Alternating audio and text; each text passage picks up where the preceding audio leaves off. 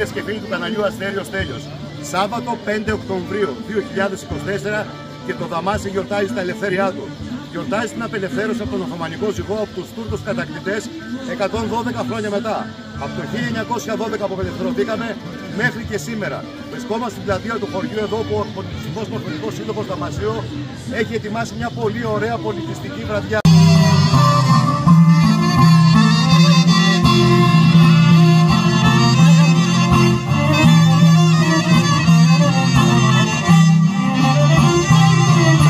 Μείνετε εδώ συντονισμένοι στο βίντεο. Απολαύστε αυτή την υπέροχη βραδιά με παραδοσιακούς χορούς και τραγούδια της περιοχής μας και όχι μόνο. Καλή σας διασκέδαση, χρόνια πολλά δαμασιώτες, χρόνια πολλά Έλληνες, πάντα ελεύθεροι, πάντα με αγάπη και ελπίδα στην καρδιά μας για ένα καλύτερο αύριο στον τόπο μας.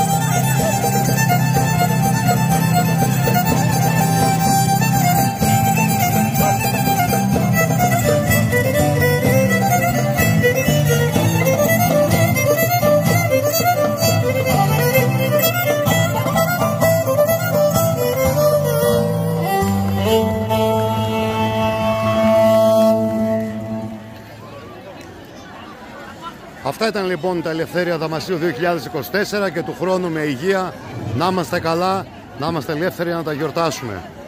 Χρόνια πολλά σε όλους. Σας ευχαριστώ πάρα πολύ που είδατε αυτό το βίντεο. Αν σας άρεσε, πατήστε το χεράκι του like. Αν πάλι θέλετε να με βοηθήσετε σε αυτό που κάνω, κάντε εγγραφή στο κανάλι Αστέριο Στέλιος στο YouTube, κάντε ένα σχόλιο και επίσης κοινοποίηση αν θέλετε. Αυτό θα με βοηθούσε πάρα πολύ.